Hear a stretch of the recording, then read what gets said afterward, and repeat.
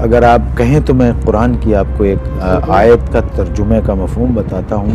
अल्लाह ताला ने कहा जिसको हमने बहुत दिया है वो ये ना समझे कि हम उससे खुश हैं। और जिसको नहीं दिया है वो ये ना समझे कि हम उससे नाराज़ हैं। दरअसल दोनों की आजमाइश।